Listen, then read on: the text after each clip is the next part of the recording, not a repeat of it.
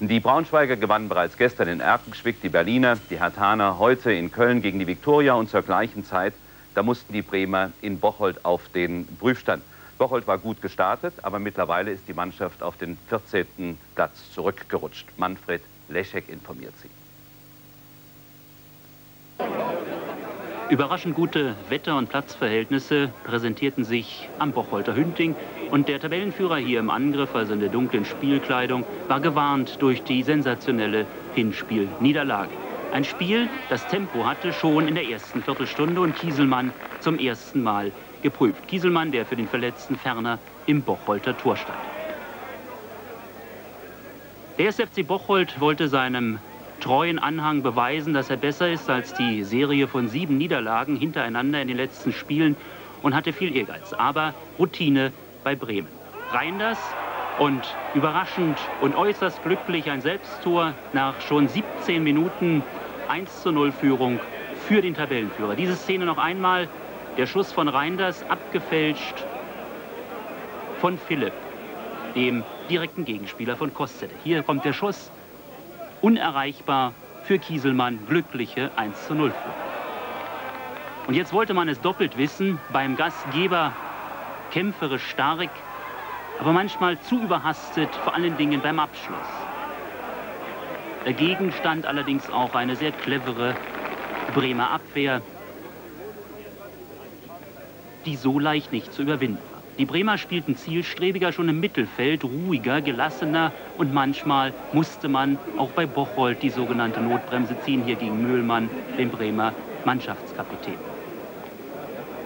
Sie führten 1 zu 0, einen besseren Start konnte der Gast aus Norddeutschland eigentlich nicht haben. Dann dieser Freistoß, ein fast K.O.-Schuss in der Mauer Konschal aus dem Hinterhalt an den Pfosten.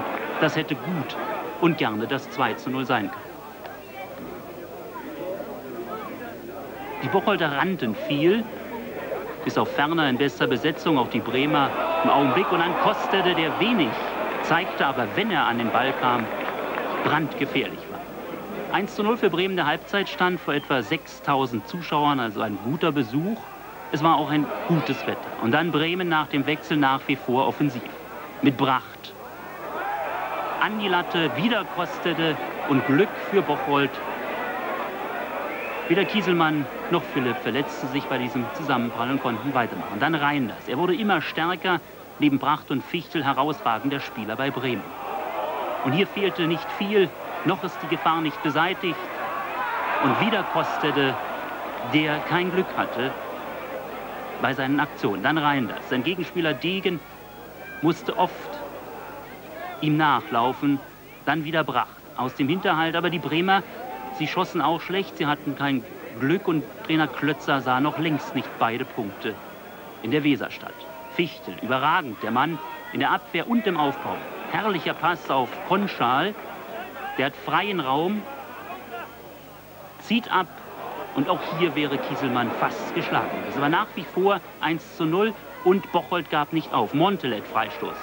Bockenfeld Kopfball und Burdenski reaktionsschnell und gut auf der Linie.